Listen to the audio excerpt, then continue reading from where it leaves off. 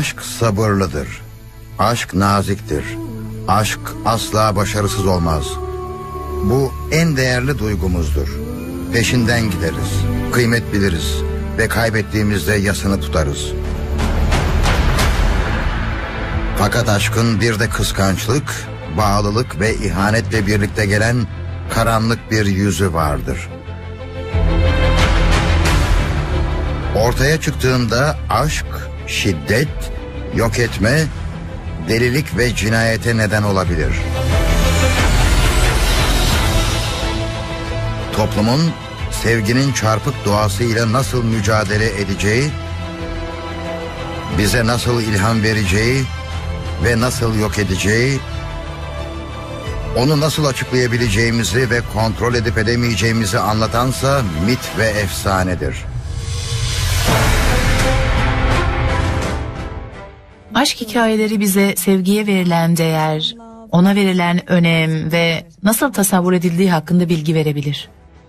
Aşk hikayeleri ve mitler genellikle toplumların tepki gösterdiği, toplumların toplumsal cinsiyet rollerini şekillendirdiği konularla ilgilidir. Bu hikayelerde beni şaşırtan şey eski gelenekte aşk hikayeleri olarak tanımladığımız hikayelerin bir şekilde bir güç dengesizliğine dayanmaması.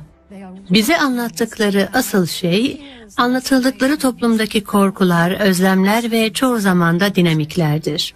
Anlattığı şey bize olduğumuzu düşündüğümüz akılcı insanlar değil, bir araya toplamaya başaramadığımız derin hisleri olan insanlar olduğumuzdur.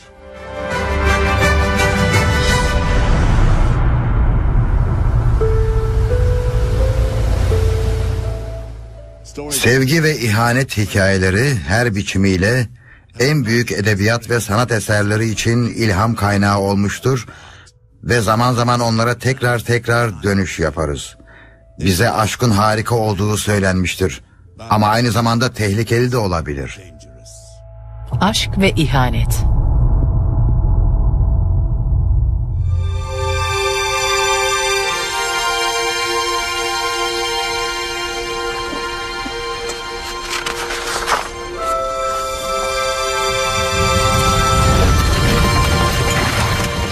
Kraliyet konvoyu toprak yollarının üzerinde ilerliyor. Yolculuk uzun sürdü. Sıcağı azaltan hafif bir esinti bile yok. Prenses Ifigenia manzaraya doğru bakıyor. Annesi kraliçe Clytemnestra yanında uzanıyor. Soluk soluğa kalan elçinin saraya girişinden beri hiç durmadılar. Kral Agamemnon'dan önemli bir mesaj getirdi. Mesajda Clytemnestra'nın Olis limanında ona katılması ve sevgili kızları güzeller güzeli Ifigenya'yı yanında getirmesi söyleniyordu.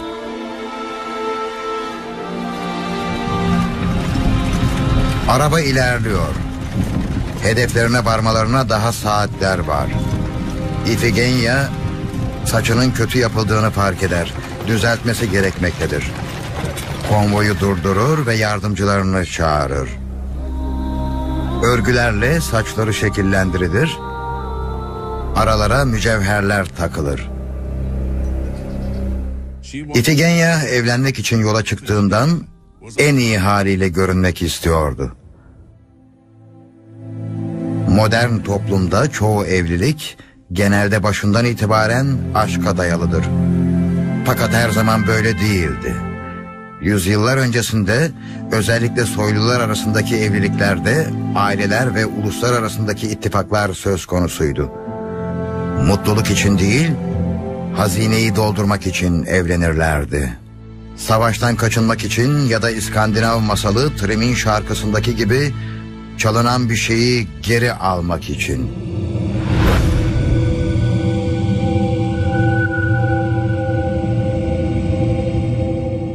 İskandinavya'daki Norveçli insanların mitolojisinde insanların ve tanrıların diyarının çok ötesinde bir ülke vardı.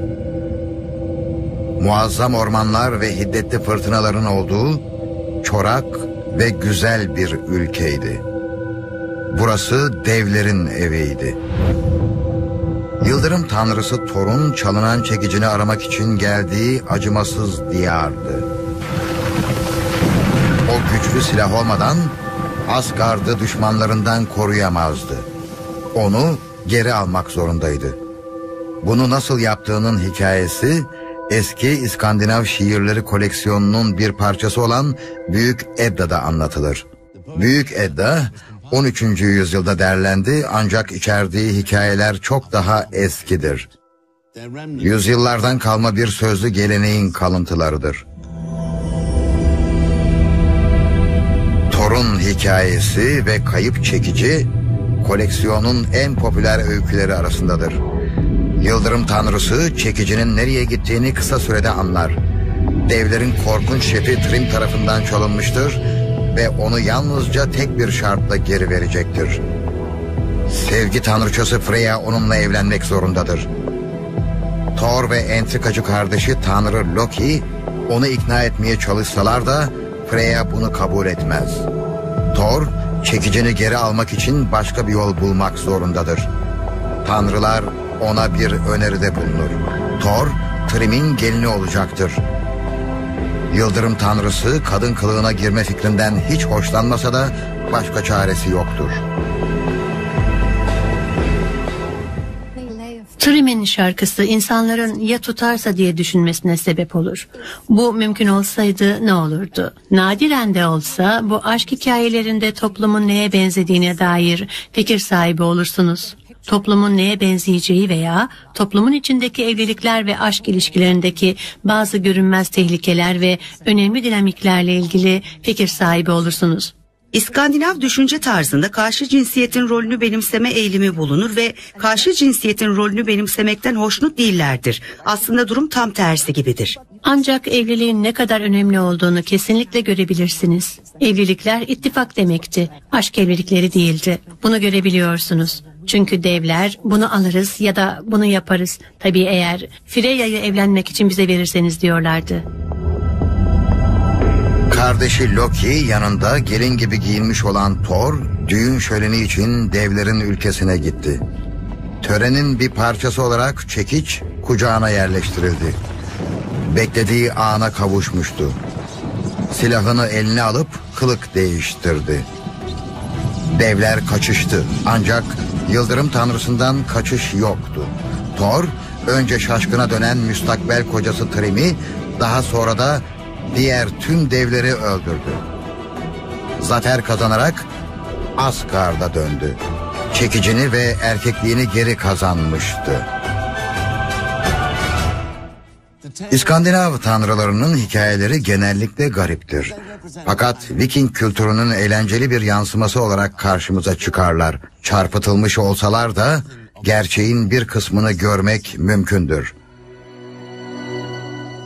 Thor'un kılık değiştirmesi bir bakıma kadınların Norveç toplumundaki konumunun yansımasıdır. Gelinlik giyen maço tanrı susturulmuştur. Aldatma boyunca sessizliğini korumuştur. Elbette kalın sesi onu ele verebilirdi ama o sessizliğini korudu.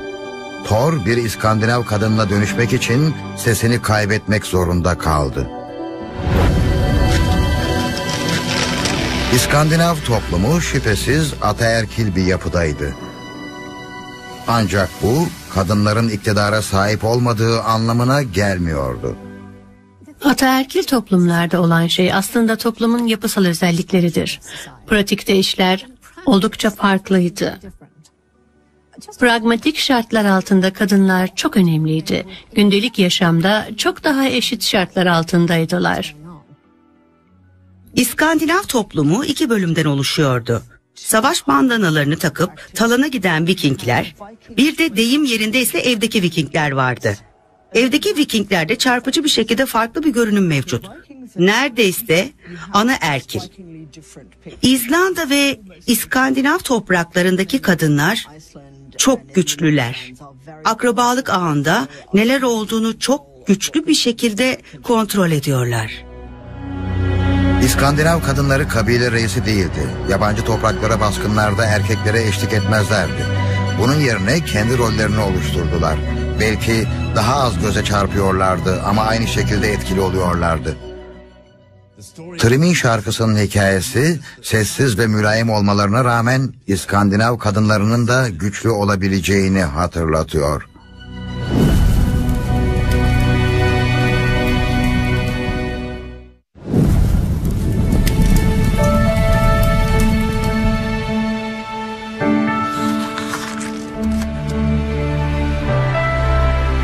Aulis limanı. Kral Agamemnon kalabalık ordusunu burada topladı ve burada beklediler. Çünkü onları savaşa sokacak bir rüzgar belirtisi yoktu. Durgun denizin üstünde yer alan bir çadırda Prenses Iphigenia annesiyle birlikte bekliyordu. Daha önce hiç bu kadar güzel olmamıştı. Çünkü müstakbel kocasıyla ilk kez tanışacaktı. Tüm zamanların en büyük ordusunda en büyük savaşçı Aşil'di. İtigenya'nın karşılamak için bunca yolu kat ettiği adam buydu. Babasının ona vaat ettiği adam buydu. Aşil, İtigenya'nın ona baktığını fark ederek gülümsedi. Tanrıçanın her santimini inceledi. İfigenya eğilerek selam verdi. Sizi Aulis'e getiren nedir diye sordu savaşçı. Düğünden haberi yoktu. Agamemnon yalan söylemişti. Hem karısına hem de kızına yalan söylemişti. Gözyaşları akmaya başladı ama onları görmesine izin vermedi. Muhafızları iterek odadan koşarak çıktı. Eğer Aşil değilse o zaman kiminle evlenecekti? İfigenya'nın hayal kırıklığı anlaşılabilir. Reddedilme ve karşılanmayan beklentiler genellikle sevginin bedelidir. Ama mitolojide evlenenler bile mutluluğu bulamayabilir.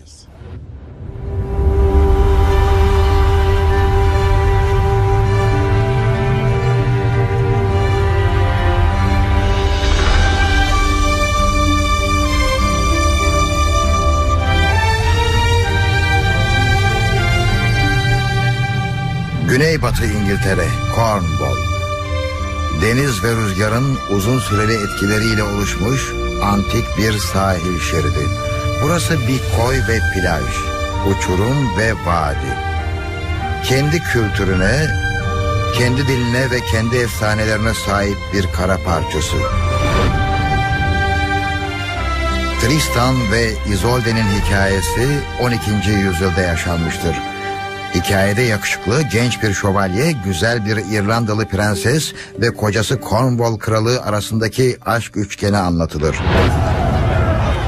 Isolde ile Kral Mark'ın evlenmesi uzun süredir savaşan krallıklar arasında barış sağlamaya yönelikti. Tristan Mark'ın yeğeni ve en sevdiği şövalyeydi. Isolde'yi İrlanda'dan Cornwall'a getirmekle görevlendirilmişti. Ancak bu yolculukta Tristan ve Isolde onları birbirine sırılsıklama aşık eden bir iksir içtiler. Aşk iksirinin önemi yazarların bu konuda ne anlattığına bağlı olarak biraz değişir. Fakat genellikle Tristan ve Isolde'nin durumdan habersiz olduğundan bahsedilir.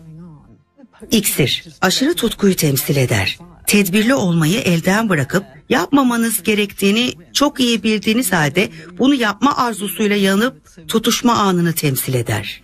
Bu öyküdeki yazarların başka şeylere bakmasını sağlayarak onları ahlaktan uzaklaştırıyor. Bu öykülerin birçoğunda krala çok sadık olan hatta kralın yeğeni olan şövalyenin niteliği nedir? O kişi kendini tamamen bu tip duygulara kaptırdığında ne olur? Isolde Tristan'ın amcası Kral Mark'la evlendi. İrlanda ile Cornwall arasındaki barış bunu gerektiriyordu. Ancak iksirin etkisi geçmemişti. Tristan'la olan ilişki devam etti. Üç karakter de birbirini seviyordu. Tristan Isolde'yi istiyor ancak amcasına saygı duyuyordu. Kral Tristan'ı oğlu olarak Isolde'yi karısı olarak seviyordu. Isolde ise kralın sevecenliği için minnettardı ama aşığına karşı koyamıyordu. Her üçü de geleceğin korkunç rüyalarıyla boğuşuyordu. Bunların hepsi kehanetti. Çünkü sonunda Kral Mark ilişkilerini öğrendi. Hain genç çifti öldürmek için plan yaptı. Tristan ve Isolde ölümden kaçıp vahşi doğaya sığındı. Ancak mutluluğu orada da bulamadılar. Hala suçluluk duyuyorlardı. Onların hikayesi daha önceki Kelt masallarından esinlenmiştir. Bu da daha sonraki aşk hikayelerini şekillendirir. Eskileri Lancelot ve Guinevere masalında görülebilir. Kral Arthur'un karısı ve en büyük şövalyesi arasındaki trajik aşk ilişkisinin bilinen ilk hikayesi 12. yüzyılın sonlarına dayanır. Ve Fransız saray şairi Chrétien de Troyes tarafından kaleme alınmıştır. Chrétien de Troyes, Ortaçağ aşk hikayesi yazarlarının en ünlülerinden biridir. Arthur'un aşkını o icat etmiştir. Chrétien'in en ünlü hikayesi Lancelot ve Guinevere'dir ve Lancelot'u Arthur efsanesine dahil etmiştir. Lancelot yuvarlak masa şövalyelerine son gelenlerden biridir ve o vahşi, kıllı şövalyelerden çok daha asil özelliklere sahiptir. Çok daha naziktir. Sadece fiziksel açıdan büyük bir kusursuzluğa sahip olmakla kalmaz. Aynı zamanda ziyafet salonunda nasıl davranacağını bilir, modadan anlar. Sadece iri yapılı, sert ve güçlü olmaktan ziyade fiziksel olarak da yakışıklıdır. Chrétien 12. yüzyılda yazdığı dönemde saray aşkı kavramı çok popüler hale geldi. Ve bu savaşçı bir şövalyenin bir kadının sevgisi vasıtasıyla uygarlaştırılabileceği anlamına geliyordu. Elde edilemeyen bu kadını severseniz sizi çok daha büyük işler yapmak için teşvik edeceği anlamına taşıyordu. Fransız sarayındaki kadınlar için çekici bir hikayeydi. Günlük yaşamlarında hanedan ve siyaset romantizminin önüne geçiyordu. Anlaşmalı evlilikler normdu. Eşleri ettikleri evlilik yemininden dönemezken metres özgürlüğüne sahip olan kocalar yıllar sonra hac ve haçlı seferleriyle ortadan kayboluyordu. Anlaşılması gereken en önemli hususlardan biri şu ki 11. ve 12. yüzyıl yazarlarının en büyük hedef kitlesi kadınlardı. Bu yüksek eğitimli, çok sofistike, Fransızca konuşan kadınlara seslenmeye çalışıyorsanız tabii ki diğer çok eğitimli, çok sofistike kadınlar ve onların ilginç aşk hayatlarıyla ilgili hikayeler anlatmak isteyeceksinizdir. Bu dönemde fevkalade feminist edebiyatın başlangıcı olan çok ilginç bir şeyle karşılaşıyoruz. Kadın yazarlar şöyle diyordu. Bakın, kadınlar sadece dünyaya cinsellik getiren Havva figürleri değildir. Evlilik için bir pazarlık konusu değiller. Kendilerine ait bir psikolojiye sahipler, ahlaka sahipler, katkıda bulunacak bir şeyleri var. En azından aristokrat kadınlar psikolojileri ve kimlikleriyle toplumda kendilerini ifade edebilmeyi başarmışlardı. Bu olayda tehlikeli olan kırık bir kalpten fazlasıydı. Tristan ve Isolde'nin ilişkisi Cornwall ve İrlanda arasındaki barışı tehlikeye attı. Mutsuz çift ayrılmaya karar verdiğinde barış temin edildi. İrlandalı Prenses Isolde, Kral Mark'a ve Tristan Cornwall'u geri dönmemek üzere terk etti. Bu hikayelerde ulusların kaderi gönül ilişkilerine dayalıdır. Bunlar bize tarihin büyük anlarının ardında genelde insan ilişkileri ve insan başarısızlıkları olduğunu hatırlatır. Tutkularımız ve sorumluluklarımız arasındaki dengeyi nasıl kurmamız gerektiği araştırılıyor. Sadakat ve aşk karşı karşıya geldiğinde kimin galip geleceği ve sonuçlarının ne olacağı soruları soruluyor.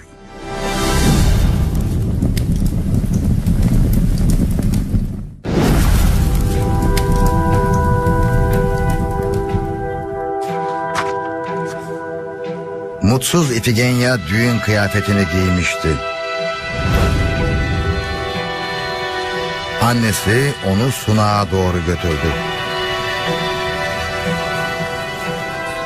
Babası Agamemnon orada bekliyordu. Yunanistan'ın diğer tüm kralları onun yanındaydı. Peki bu yaşlılardan hangisi Ifigenya'nın kocası olacaktı? Hepimiz ölümlüyüz diye gürledi kral. Tanrılara meydan okuyamayız. İfigenya'nın gözleri bağlıydı. Agamemnon tanrıça Artemis'i hoşnut etmemişti. Rüzgarları dindiren kişi oydu.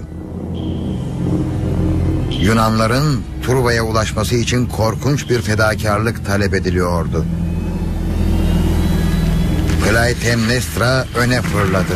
Kızına ulaşmaya çalıştı ancak güçlü kolları onu zapt etti. Haykırdı. Kocasına evladına zarar vermemesi için yalvardı. Ancak Agamemnon dualarıyla onun sözlerini bastırdı.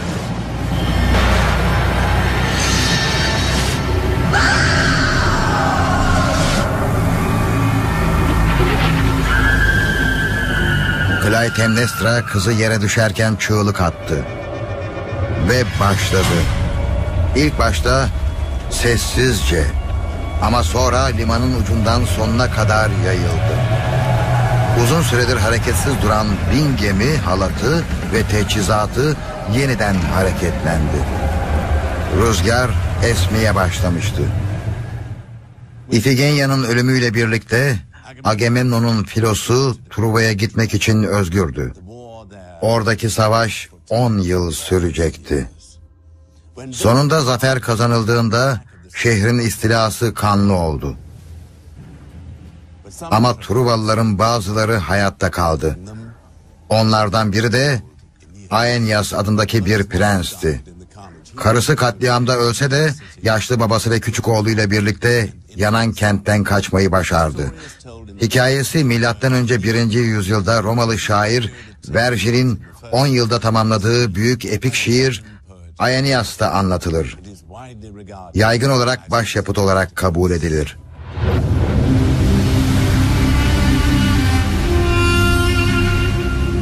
Aeneas'ın filosu Akdeniz'e doğru ilerlerken korkunç bir fırtınaya tutuldu.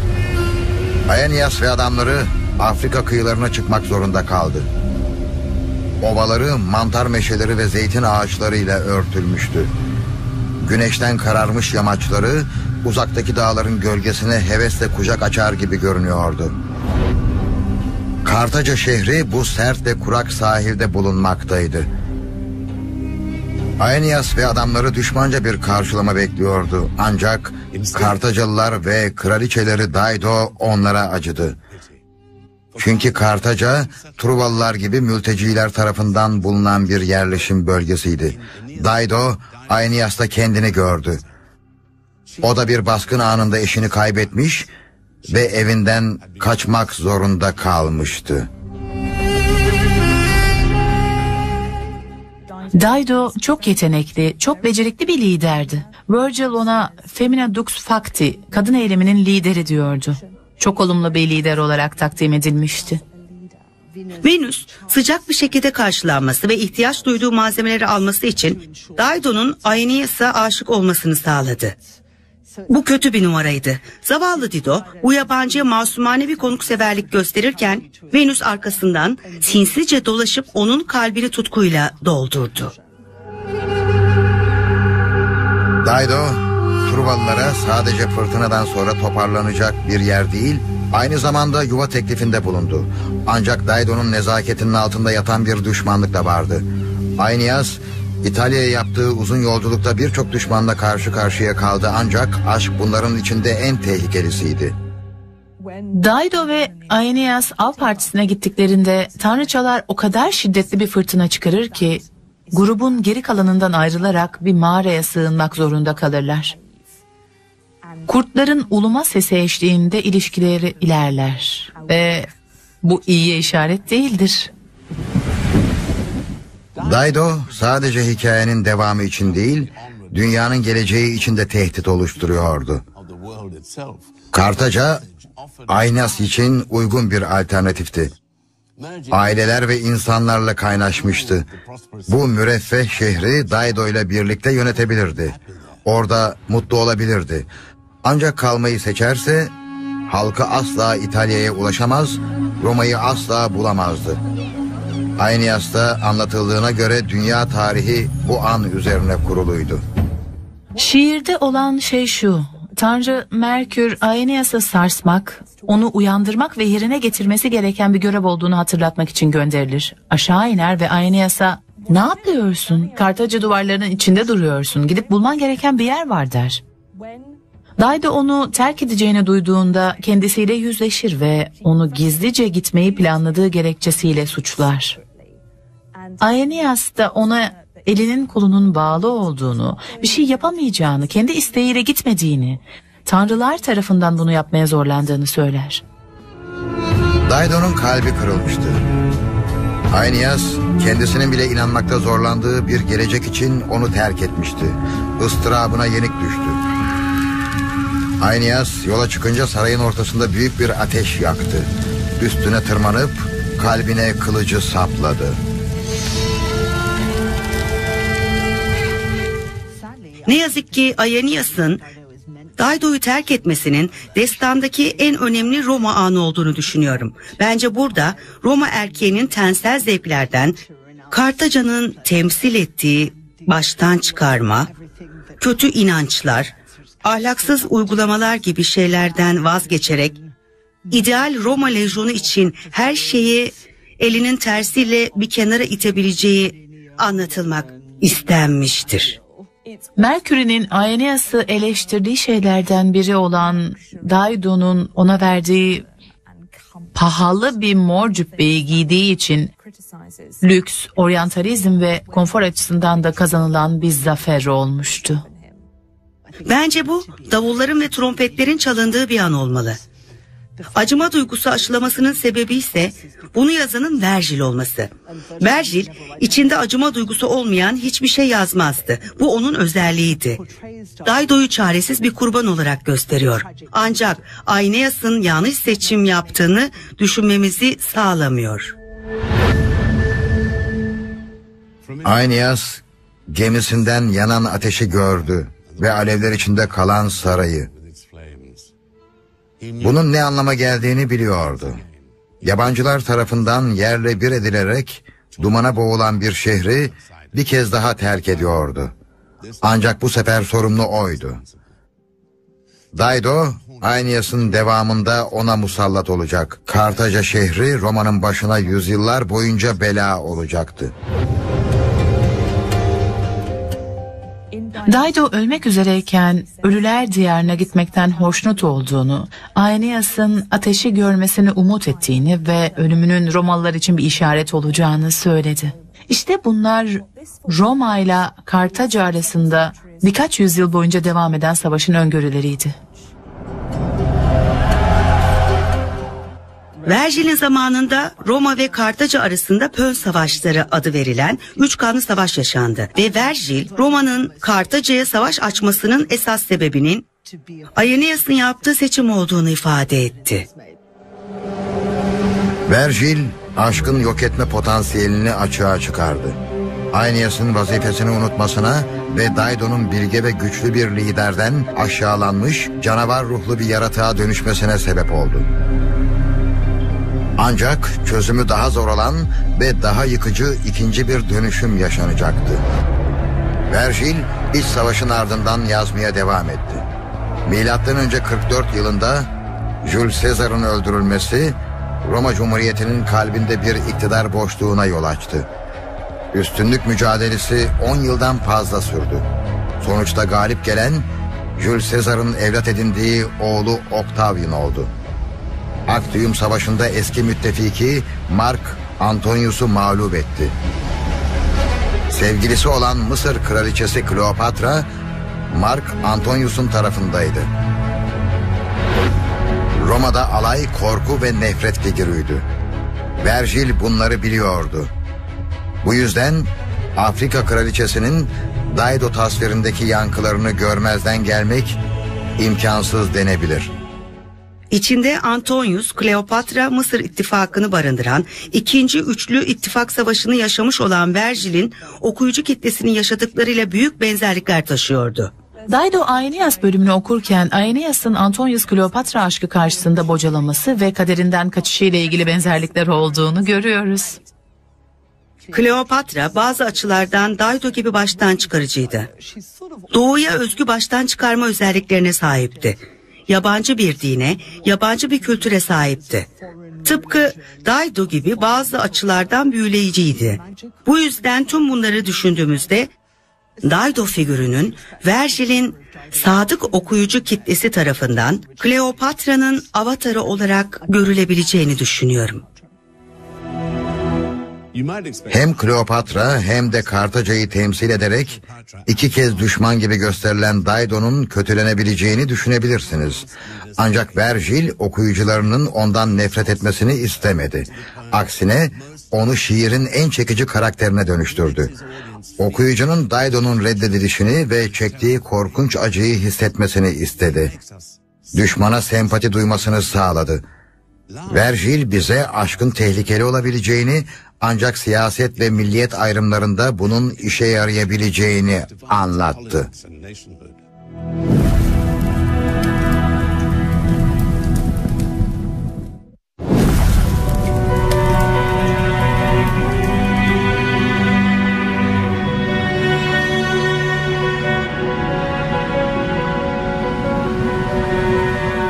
Kafkas dağlarının gölgesindeki Karadeniz'in doğu kıyıları. Burası antik Yunan dünyasının sınırıydı. Burada bir zamanlar demir ve altın açısından zengin eski bir krallık vardı. Adı Kolhit'ti. Burası Yunan kahramanı Yason'un altın postu bulmak için çıktığı macerada geldiği topraklardı. Sürgüne gönderilmiş bir prens olan Yason, değerini ispatlamak ve elinden alınan tahtını geri kazanmak istiyordu. Ancak post başka bir adama Kral Ayet'e aitti ve onu gözü gibi koruyordu. Kral Yason'a postu istiyorsa çeşitli zorlukları aşması gerektiğini söyledi. Her biri imkansız görünüyordu ve Yunan kahramanına sırılsıklama aşık olan Kral Ayet'in kızı Medea'nın yardımı olmasaydı gerçekten imkansız olabilirdi. Medea belki de klasik mitolojinin en büyüleyici karakterlerinden biridir. Genelde her dönemin metinlerinde muazzam sihirli güçlere sahip olan bir cadı olarak tasvir ediliyor. Medea ile ilk tanışmamızda geleneklerine bağlı, karşılıksız aşk besleyen, çok mütevazı, çok gergin ve aşk bağımlısı bir kadın olduğunu görüyoruz. Ama bu aşamada bile ortaya çıkmaya başlayan çok daha karanlık, çok daha güçlü bir figür görmeye başlıyoruz. Yason, Medea'nın tavsiyesi ve büyüleriyle altın postu kazanmak için üç görevi yerine getirdi. Önce ateş püskürten öküzlere boyun eğdirerek onları bir tarlayı sürmek için kullandı. Ejderhanın dişlerini toprağa gömdü ve onlardan mucizevi bir şekilde büyüyen askerleri öldürmek zorunda kaldı. Son olarak Filo'yu koruyan uykusuz bir ejderin üstesinden gelmek zorunda kaldı. Yason'a olan sevgisi o kadar büyüktü ki Yunan kahramanı Kolhit'ten zaferle ayrılırken Medea da onunla gitti. Oğullarını dünyaya getirmeye ve Yunan dünyasında yanında dolaşmaya devam edecekti. Yardımcı genç kız rolünden yeni sıyrılan Medea, gelecekteki rolleri olan eş ve anneliğin zorluklarına alışmak zorundaydı. Yason ve Medea'nın mutlulukları fazla uzun sürmedi. Korint'e vardıklarında Yason oradaki kralın kızı için Medea'yı terk etti. Fakat Medea'nın yaptıkları adını tarihe altın harflerle yazdırdı. Kocasının en sevdiği şeyleri çocuklarını öldürdü.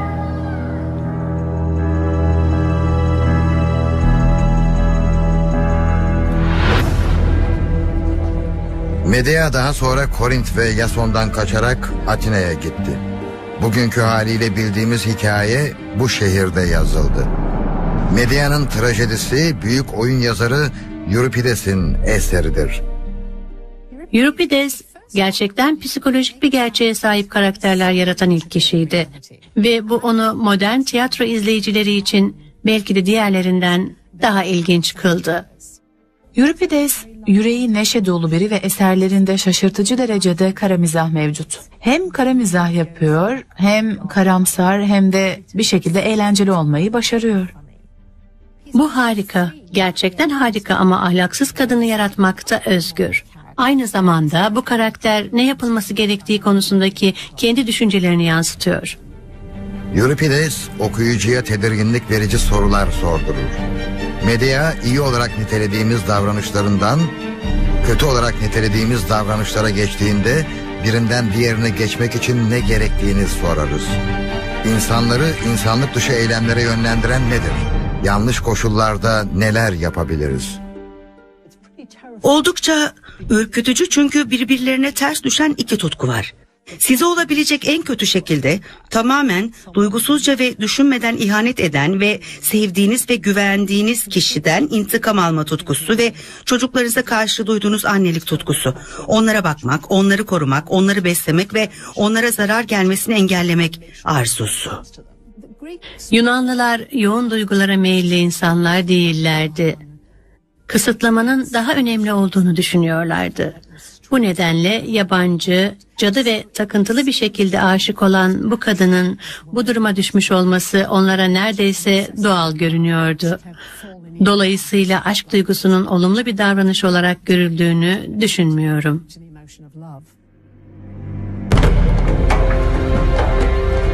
Euripides'in oyunu ilk kez M.Ö. 413'te sahnelendi. Atina her yıl Tanrı Dionysos'a ithafen bir festival düzenlerdi. Yeni oyunlar yapıldı ve değerlendirildi. Euripides bu festivalde Medea hikayesinin kendi versiyonunu sahneledi. Sonuncu oldu. Seyircinin tepkisinin ne olduğunu bilmiyoruz. Ancak seyirciyi tedirgin edebilecek ya da mutsuz edebilecek pek çok şey vardı. Bizim için çok ilgi çekici bir oyun olmaya devam ettiği gibi bunun o zamanlar içinde çok ilgi çekici bir oyun olduğunu varsayabiliriz. Demek istediğim kimse medyaya ilgi duymuyor ama o zaman da geri çekilip bu kadın ne yapmış olabilir ki diye düşünüyorsunuz. Yunanlılar için çok önemli olan akrabalık ve evliliğin tüm kurumlarına saldırıyor, onların düzen duygusunu yok ediyordu ve düzen Yunan dünyası için gerçekten önemliydi. Euripides'in anlattığı hikaye her kuşaktan yazar ve sanatçıya esin kaynağı olmuştur. Ve bugün Euripides'in Medeası belki de tüm eski Yunan oyunlarının en popüleridir. Bu sonsuz yeniden yorumlamayı yönlendiren baş karakterin karmaşıklığıdır. Medea duygularıyla hareket eder, aynı zamanda kurnazdır. O bir Yunan kahramanının ama aynı zamanda yabancı bir barbarın eşidir. Kocasına meydan okuyan sevgi dolu bir eş, çocuklarını öldüren sevecen bir annedir. Onları içinde barındırmakla beraber erkek egemen toplumun ona verdiği rolleri reddeden bir kadındır. Medea'nın hikayesi bize antik Yunanlıların kadınlara karşı tutumları ve özellikle de kadınların duygularını erkekler kadar iyi kontrol edemediğini anlatıyor.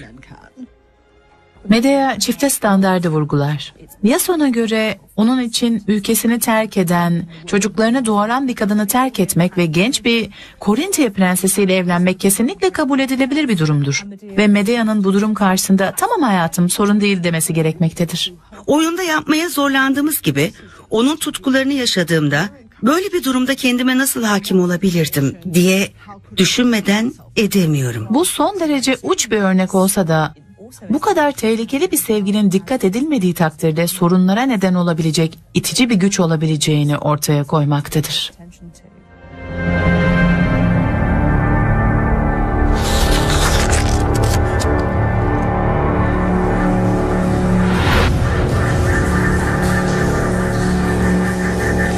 On yıl savaştıktan sonra zafer kazanan Agamemnon Truva'dan döndü. Ancak karısı Clytemnestra yıllar önce yemin etmişti. Agamemnon'un Truva'ya ulaşmak için kurban ettiği kızını unutmamıştı. Sonunda İtigenya için adalet yerini bulacaktı.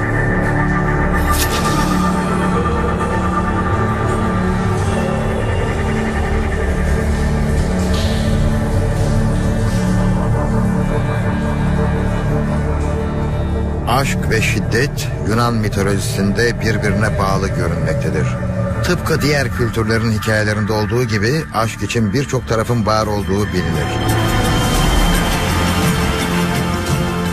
Bu en güçlü duyguların doğası değişmediğinden tüm bu hikayeler hala bizimle konuşmaktadır.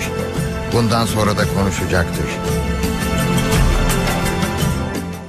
Aşk efsanelerinin devam etmesinin nedeni bize insani arzuları anlatmaları ve insani arzuların ne kadar sapkın olduğunu göstermeleridir.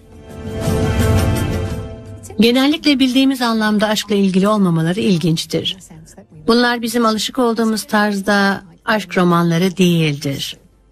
İnsani duygular genellikle mantığın kontrol edebileceği şeyler değildir. Efsanelerde çoğu kez en tedbirli ve en zeki kahraman ve kraliçeler bu duygulara yenik düşer ve gerçekte olmak istemedikleri yerlere giderler. Bu mantıksız dürtüde aşk gibi güçlü bir duyguyu toplumun yapısında nereye koyarsınız?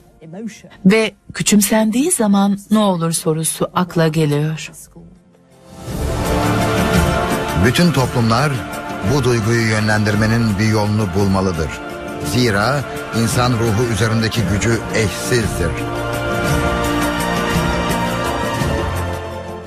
Çoğu zaman korkunç şiddet eylemlerine esin kaynağı olsa da iyilik, fedakarlık ve cesaretten daha fazla sorumludur. Biri olmadan diğerine sahip olmak imkansızdır. Aşk sabır ister. Aşk özen ister. Ama aynı zamanda mantık ister. Ve aşk tehlikeli olabilir.